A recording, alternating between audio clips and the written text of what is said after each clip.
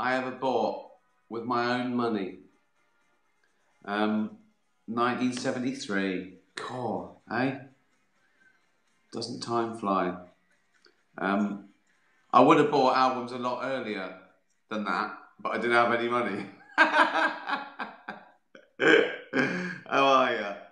Um, talking of money, um, I'm thinking of getting this sponsored so I can carry on doing it. I mean, we don't know. One, we don't know how long the pandemic's going on for, or this lockdown. Two, I've really sort of got to like it. It's fun, isn't it? It's like I am the broadcaster here. I can say anything.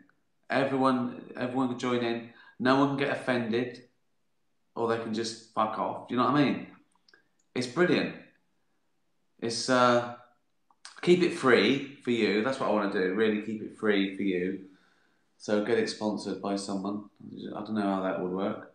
I'd quite like to do it that old-fashioned way, where I say, "Hello, welcome to Load of Bollocks," sponsored by Jameson's, you know, smooth Irish whiskey.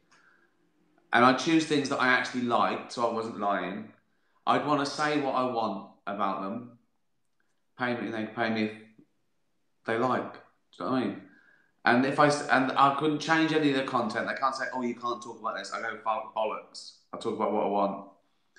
Um, and uh, so you got to be careful what you're sponsored by, so they're not too precious. Like if you get sponsored by the Vatican, you're asking for trouble. They'd call up one day and go, "We don't like to talk about the cock in the drain." I go, "You changed." Um, so. I want to be having a talk about cocks in drains, alien slugs, uh, and all that shit. Um, so yeah, any companies out there want to give me fifty grand an episode? The, the, the reason is right is um, I feel like uh, I haven't got enough money to do the charity stuff. I've got enough money for me, more than enough money for me but I don't think people realise how many terrible things there are happening in the world. And that's why it's got to be solved by governments and the people, not by individuals, because it's, it costs billions, you know? They're chopping down rainforests. They're, we kill, uh, we kill like, I think, three billion fish and sea creatures a day, right? And most of that is ground up to pellets to feed cows. If, if you cut meat consumption by 10%, that would feed like 100 million people. It's because we use so much of the resources, we deforest to grow um, uh, uh, things to, to feed cows. Do we grind up. It's crazy. Um. Anyway, yeah. So I feel like that, you know that that David Bowie film, The Man Who Fell to Earth, when he has to come to Earth and make so much money because he's got to get water to his planet. So that he eats trillions. That's what I feel like. oh God! Save all the dogs. Um, but people are helping, like Street Dog. You know, they, these make a. I mean, this it, is a drop in the ocean, but it's a big difference to the individual charities and the dogs they save. So, a little bit of time. So, if I can do this on like uh, times a thousand.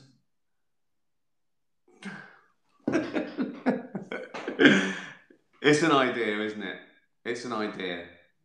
So yeah, um, basically, what I'm saying is, it'd be free for you. I'd talk bollocks, and um, I'd have more money to spend on animals. That's that's the, that's the, the fun, isn't it? That's what that's the fun. You can save an animal. Um, anyway, and uh, a nice bottle of wine. one for you, one for me. Uh, let's get to the questions, the shitty fucking questions that you idiots send me. Oh, I should say hello to some people. Um, that well for winning your TV Choice Award. Thank you. Uh, second year running. Afterlife. It's up for another award, I think. Um, it's up for, I think it's the TV Choice Awards in America. You got, I think you're and the TV Times Award as well. Anyway, there's there's always an award. There's always an award to win for me. oh dear, still fun. Winning awards is more fun now than it was because apart from you, you, you're proud of your thing and you know you, you it's nice to win, it pisses people off. Which is also such a bonus. That's such a lovely bit of collateral damage that doing something good and winning something pisses some people off. It's double bubble. Sydney, Australia. Hello. California. Um, uh, yeah, let's do some questions. Mrs. Scallywags. That's a cat. Straight into straight into the big hitters. Mrs. Scallywags. Let's called in. Mrs. Scallywags was wondering whether the painting in Afterlife, Series 1, Episode 2, where you make Lisa jump, is one of your own paintings. No, it's not. Um, it sort of looks like it, doesn't it? I sort of told them what I wanted. Uh, and there's a little, I don't know if people notice this. Again, you do all these, these things for details that no one notices. But the painting she's painting when I make her jump, the finished painting that she was painting is on the bedroom wall, which I thought was a nice touch. Because that was like, when she was painting it was like three years ago. So, uh, yeah, no one noticed. I know. Pat myself on the back. I go, good one, Rick. That's brilliant. No, no one noticed. Still, it's there. I still like putting in those little things in case, like two toothbrushes in the in the stand. I, I still like doing them just for me, and if people notice, then great. If not, uh, yeah, sod you. Leslie says, "How do you begin to cast a dog? Do you have a doggy audition day? And what was it about Anti that made you choose to play Brandy in Afterlife?" Well um, you usually they there's professional uh, uh, handlers trainers that do these things. Usually the dog they, they they it ranges from someone just walking by with a dog to the dog's got to do stuff like you know take a criminal down in a police drama. So so you have to have people um, and uh, I uh, it usually goes through the art department to, to, to source that and um, so I, I got a, a, thing through from this this guy. His name is Ash, uh, and uh, it's to pictures of the dogs he uses. And I chose Anti because I wanted a big, I wanted a big, robust dog um, that he had to walk and do stuff, and you know, um, uh, I just I, and I wanted a dog. I just wanted a dog for six weeks, and I fell in love with. Uh, Anti, and I met her, and uh, I played with her, and she we got on, um, and uh, yeah, uh, and I said to Ash, I said I just want her to be a dog. I don't want her to do tricks or stress her or do anything you know she doesn't want to do. I just want her to be a dog and act like a dog, and act like she knows me, and. Uh, um, but there's still tricks to it, like when she has to go and sit on the grave and look at the grave. They, know that that takes a while. He has to show her where he wants her to sit and put a mark. And he's trained her over the years, so she knows what he's talking about. You come here, you get. So she ran, she sat on her mark, and then he stood behind the grave, behind the grave with a sausage on a uh, a stick, and so he can make her look. Well, and on screen it looks magical. That's how they get me to act, by the way. they hold up a beer like that, and I, I do my lines. um, yeah, so that was it. Tanya, can you tell us anything about Blazing Samurai? Uh, as a film, I saw. I think I might have finished my bit. You sort of you make it over three years, where you have to keep doing. It's an animation. It's an animation uh, of. It's like a remake of Blazing Saddles, but with cats and dogs. And I'm one of the uh, uh, the voices, one of the um, um, cats in it. Uh, and so I've I've been sort of doing my bits and pieces over the last couple of years now and again because they get all your things and they go back and animate it and they change it and stuff. Um, and uh, it, it's funny. It's a funny script. I got a funny part. Um, and again, they let me go crazy. Uh, so I think it'd be it'd be fun. I think it'd be fun for all the family. Uh, but the answer is no. I can't tell you anything that you don't know. Because yeah, you have to see it and see what you think.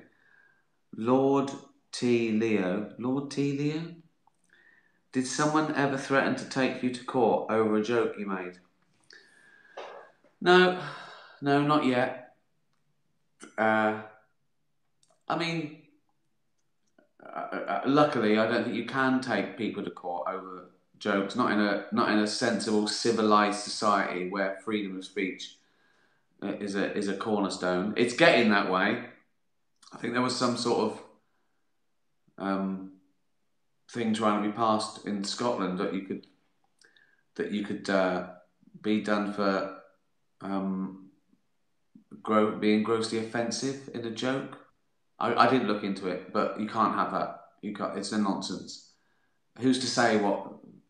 I told you before. If, if, if there is a law where you can call the police if someone offends you, I will be on the fucking phone 24 7. I will spend my entire fortune on a bank of a thousand people on phones just calling the police saying I'm offended. What is it? Uh, fat bloke on a skateboard. Yeah. Yeah. Yeah, he's 28. Yeah. Yeah, he's dressed like a toddler and he's going up and down my street on a skateboard. I find it grossly offensive. All right? You see him get fucking taken away. I will complain about anything that annoys me to show what a fucking farce such a law would be that you can say something that someone finds offensive, that their feelings are more important than your freedom of speech. Um, so, no, no one's ever taken me to court, and uh, I'd love it. I'd fucking love it. I'd be like Lenny Bruce doing that, doing it to the judge. Look, all I'm saying, judge, is there's a cock in a drain, right? and I'm walking past, mm, right? Imagine me having to do that in court. Justify.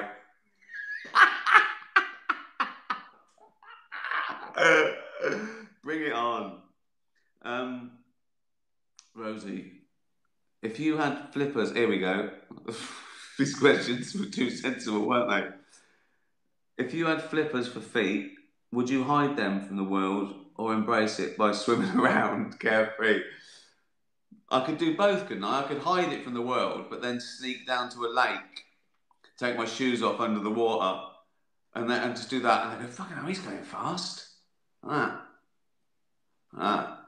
Um, flippers, like big, fucking, I think I'd have to show it off, wouldn't I? How could you hide those? How big would your shoes be? I'd go, no, I've got flipper feet. Imagine still not being a great swimmer with flipper feet. I could work in a cafe turning over eggs. Over easy, yeah, just use my feet. Not a problem. Pancakes. Wouldn't have to use them for swimming. Could use them for anything. No. just use them to make a noise. Just like, here's Ricky. Here he comes. Stonewall Rockhaven, if that is your real name. If this virus goes on for years and years, uh, what is the future of stand up? Good question. Are, are we looking at it? Every comedian doing it from their home. Yeah, could be. Yeah. Uh, I don't know. I mean, some do it. It's not. It's not the same, is it? Doing stand up. It's about being there and laughing and hearing other people laugh. Otherwise, they might as well just send you an email um, uh, with a joke on it. Uh, I don't know. I mean, I think this is different because this is not. It's not jokes, and I don't expect an audience reaction. I'm just waffling on like a twat. Um, so this is all right, but standing there like there's a reaction, I think that's a.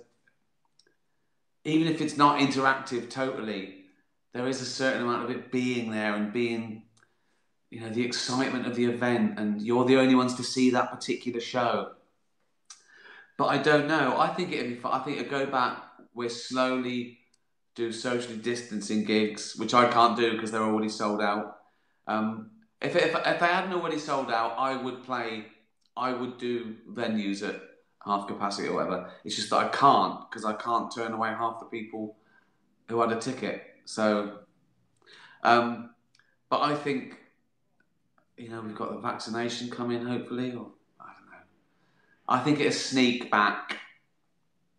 One thing is that, I, again, I don't know, but when you see that, that you know, there's they've got you know two meters either side of each person in the venue, but they're not wearing masks.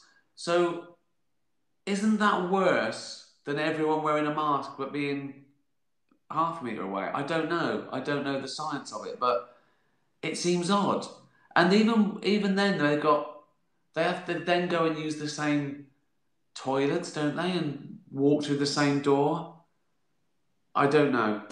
I don't know. Maybe no one does. We just have to wait and see. But I think, I think it'll it'll, it'll go back to, if not if not, it totally the same. There there will be a level of normality. Um, it'll return. I think soon. I hope. Uh, I brought that brought the mood down there. also, people have got bigger problems. No one's at home going, oh, I wanted to go and see a comedian. I used to go and see a comedian once a year. What am I going to do? People are trying to feed their family. People are being made redundant, losing their fucking house. No one's sitting at home going, oh, I was meant to see Rick in three months' time. um, Freya, what is your favourite outtake blooper from any of your shows? Oh, um, I think I've answered a question similar to this before. Um, I think I had to say my top five it, uh, uh, and I think it's probably um, me and Martin Freeman in the office when he couldn't do that. Uh, Patrick Stewart was a good one in extras when it, he couldn't say well, I say he couldn't. He could say it, but he couldn't say it without me ruining the take. um, the caravan, I think the caravan in Derek is up there. Um, uh, the cake eating in Afterlife. The Ratty and the Nonce in the pub in Afterlife. Uh, David Earl saying I have to cram it up there flaccid. I mean, I think that's. Um, I think I think it's the caravan scene in Derek. I, I just couldn't. It was the funniest thing I'd ever seen. I just couldn't do it. I don't know why. it's so ludicrous. It's so what he was saying is so disrespectful and shouldn't be said. It just should never be said. And that was meant to be a documentary. So this character, Kev, was saying this to the camera. oh, God. Veronica, how hard is it for you to decide on what music to use for Afterlife? Specifically for the sad scenes? Well, it depends. Um, because I use it in two different ways. Sometimes I use it uh, um, like a, a, song for a longer montage for them to think about that that sort of uh, like um, you know Rocket Man, where he took the heroin and he saw his wife. Uh, but those things are planned, so I actually know what song I'm going to use, and then I plan it around it so it looks. It's you know it's harder to do, but the payback is incredible when it's something that's that's that was created to go, you know, to, to the lyric and the the song and everything. Um, for the sad scenes, I don't usually do a, a, song. I usually do bespoke music, which you plan and sort of orchestrate it around the gaps. Um, so uh, that's uh, that's harder in a way. That's that's harder, and there's lots of ways to do it. To just find the perfect, the perfect. I think less is more. I think I see things there's music all the way through it, and you, and the end you don't even notice it because it's like a fucking fridge going off. So I, I like I like um, using it to maximum effect, just now and again, so it really it really gives you a gut punch. Uh, that answers your question or not. Uh, Annabelle, what is more satisfying? Actually creating your own show or movie or knowing that people have been positively affected by it? Well, that's a good one. Um, well, both. I mean, if no one was physically affected by it, but it was just entertainment, that would be an achievement. You know, it's hard to write and make a show. It's hard to write and make a mediocre show. And it's really hard to make a really, really good show. And it's really hard to make a really, really good show that people are actually affected by because that, I mean, it's just rare. It's just so rare, and you never know. You never know what to connect, and and you shouldn't really do it for that reasons. But um, I, I think art is to make a connection with a stranger. I think that's the most important thing about it. That it does make a connection. And for me personally, I, I'm excited about the size of the connection. When I first did The Office, um, as I've said in interviews, I, I want, I'd rather it was a million people's favourite show than 10 million people's 10th favourite show. Because I was interested about, I wanted it to affect a few people more. And you do that by, you know, trying to make it uncompromised and different. And um, yeah. Uh, so, and the more you do that, the more original something is, and the more uncompromised something is and different, I think the bigger the connection, even if it's with fewer people. So I'd say that one, and the effect that Afterlife has had with people is has uh, has been amazing, and as I say, I've never had a reaction like it because of the emotional connection where people would come up and they'd talk about their own grief. So that has been that's uh, it's been a surprise and a, a pleasure, and it feels like a responsibility as well as I said, because that happened after the first series, I thought he can't just get better. He can't snap out of it because that's not true. So uh, to the people who, who suffer, I thought I've got a bit of a duty to make this a realistic portrayal of grief now. So uh, I'd say that one now and now, uh, uh, uh you know, at this stage of my career, I think making a positive connection is is more important to me than it was. Thanks for your question. Oh, here we go. Here he is. Here he comes. It's Rupert.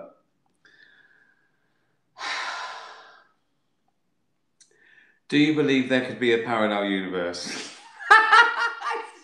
To it. like I'm fucking Lawrence Krauss. Right. Do you believe there could be a parallel universe? And in fact, right. So that's a good question. Odd from a dog, right? But then what's this nonsense? Do you believe there could be a parallel universe? And in fact, nobody dies. Our matter just gets absorbed into the parallel universe. So he's saying now, us in this universe, we just, when we, no, we don't die, we just get absorbed into the universe. So, for example, yeah, I get it, Rupert. You don't have to give me a fucking example, right? so, for example, David Bowie isn't actually dead, but living in an alternative life in the parallel universe. How many questions is this? Would you consider, Uncle, in producing a series that explored this, either as a drama or talk show? Or talk show. Hi, this is uh, Parallel Universe, the talk show. Um, I would watch. Fucking essay. Right. I'll be honest, Roop. I'll ignore all the other shit. But to answer your first question, do I believe in a parallel universe? Um, there could be. That's two different questions. Ah, do you believe there could be a parallel universe? I don't understand it enough to answer that. Um, I know that it's, the, it's a it's part of the, because of the nature of how matter could be arranged, the particles could be arranged like tending towards infinity. It's a number that's not even worth saying. It means fucking. There's not a word for this number, right? So so many. I don't quite know what the theory is. I assume it's a mathematical theory as opposed to they actually think there could be lots of universes. I think they mean that the chances are there could be, right? Even that's unfathomable that these physicists come up with these these theories through maths mostly. I don't even know if they mean they're next to each other or in the same space on a different plane. Um, like I don't know whether they're saying, have you got two glasses of salt water? Have, have you got have you got a, two different glass a glass of water and a glass of salt, or is the salt dissolved in the water in one? Are the parallel universes a potential possibility or is it to be taken literally? I don't even understand theory, so I can't answer that. Um, so I'll say no. Fucking hell, Rupert. Asking me shit like that to make me look stupid. I don't know, do I? Why are you asking me stuff about quantum physics? You idiot. Oh, here comes Joey. Oh, what's he going to do? Oh, he's done t- two, hasn't he? Uh, sensible and stupid. Right, I'll do these quickly. We're running out of time, Joey. Sensible. When you're filming your shows, do you ever get the extras uh, ruining a take by laughing? Or is it always your fault? It's always my fault. It's always my fault. I don't think I've ever had to go cut that extra laughed. I think they do what they're told. They're really good. They're professional. It's, it's always my fault. oh dear. His stupid question is Would you rather have toes for fingers or fingers for toes?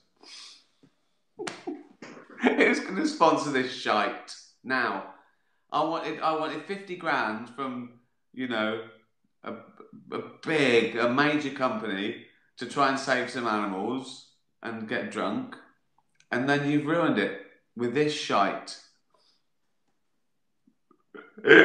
you've blown you've blown my big chance, Joey. Oh, would you rather have toes for fingers or fingers for toes? Okay, let's look at this. So, so I've got fingers here and fingers on my toes, or toes. They're not swapping. And toes on my toes and toes on my fingers. I, I think I'll have fingers on toes and and and hands. Because if you've got, I mean, I reckon if you've got fingers for toes, you can sort of bind them and make them, you know, put them in your shoe, and that'll be fine. It won't be fine, but it, but at least you've got you've got to do stuff, haven't you? Imagine playing the guitar with fucking toes. It's hard enough with fingers. uh, I'd have fingers. I'd have fingers for toes, and fingers for fingers. That's the choice, isn't it? Fingers everywhere or toes everywhere. I'll have fingers everywhere. You idiot, Joey. Right. One more question. Last question. Oh, God. It, it, it, it, right. Glenn says, You're on a raft in shark infested waters. Right. Suddenly, two dogs frantically paddle towards you. There is room for only one on the raft. and the, shark gets the other one. Which do you save and why? The dogs are Gunner and Rupert. Oh God! Did I ask Gunner's question? Did I get a question from Gunner? Uh, I thought I had a question from Gunner. Oh, I missed it. Here's, here's Gunner's question, right? This is Gunner's, quest, Gunner's question, right? He was a good boy.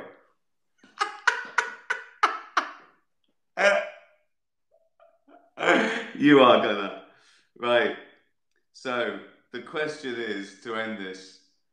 I'm in on a raft in shark infested water. Rupert and Gunner are swimming towards me. I can only save one. That's I'm not answering that. Right. Uh, wow. I reckon. I reckon I I could safely save Gunner because there's no shark big enough to take on Rupert. The shark would go. Fuck! I can't eat that. I can't eat that. No. Fuck it. So I'd say Gunner and Rupert could just float along by the side of us to land like a like a blimp, and he'd be safe. what a load of shit this is. Thanks everyone for listening. Um, have a great week. See you Sunday. Be nice to animals. Tatty bye everyone. Tatty bye.